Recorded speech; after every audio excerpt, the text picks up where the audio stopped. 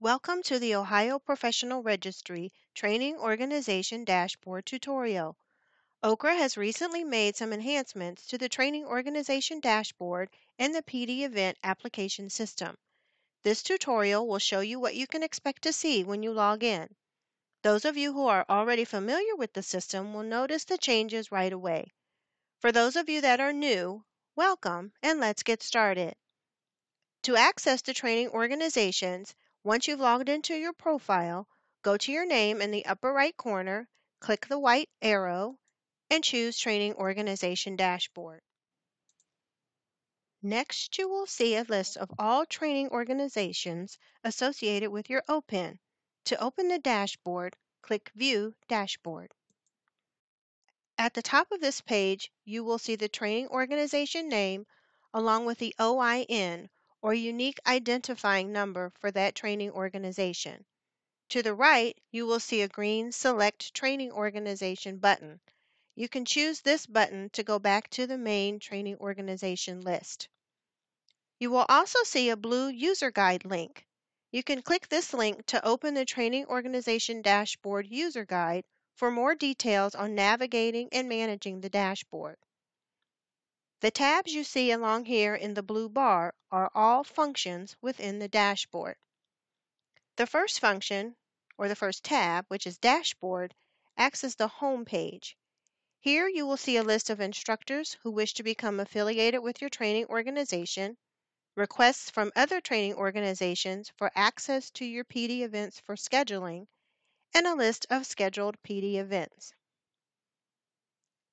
The Events tab holds information for all PD events associated with your training organization. For each event, the display shows the AT number or the ID number for that event, the title, the status, the number of contact hours, the format, the type of event, author, and the approvals the event holds.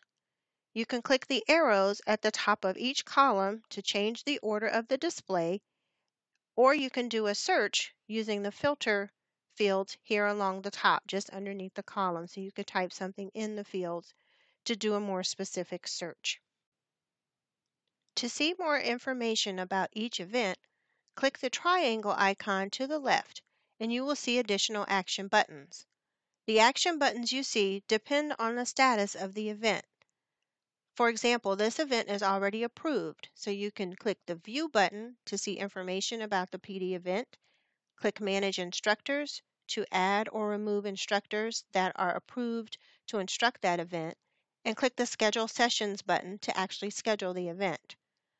So we're going to close this one by clicking the triangle icon again, and then we'll open one that is in draft status, and you see the action buttons are different. Here we can edit the event or we can delete it. Only those in draft status can be deleted. So we're going to close this one. The next button you see up here in the right is the green Create Event button. Clicking this will open a new PD event application that you submit for review for Ohio approval and non-Ohio approval. This process is covered in the Create PD Event tutorial and user guide. In the second row of blue tabs, is the Scheduled Events tab. Clicking this tab takes you to the list of all PD events that have been scheduled for this training organization. You can search for events by status, by entering the event's ID number, which is also called the ST number. You can enter in the event title, or you can just click the green Locate Event button and all of the events will appear on the screen. From here, you can view and edit details for future events and manage registrations and attendance. The Admins tab lists all training organization administrators. The admins can add and remove user access to the dashboard.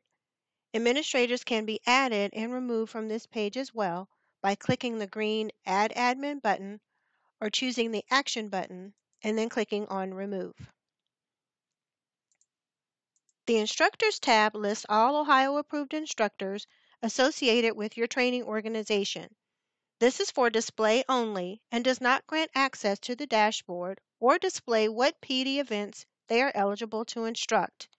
Instructors can also be added or removed from this page. The next tab is for reports. From here, you can create a variety of training reports, such as all offerings for a particular event during a specific time period, or the number of participants in a certain county for a specific PD event. The last tab is Training Requests.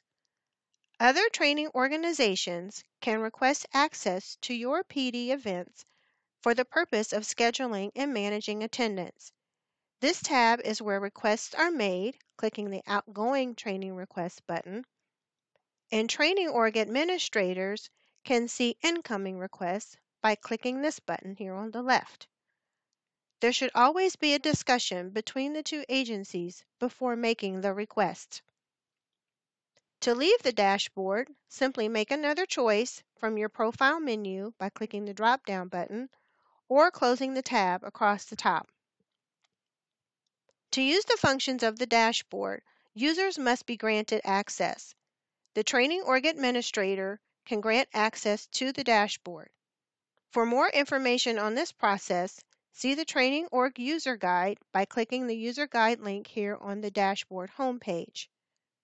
Check the resources page on the website to view tutorials on creating a PD event application and scheduling and managing PD events.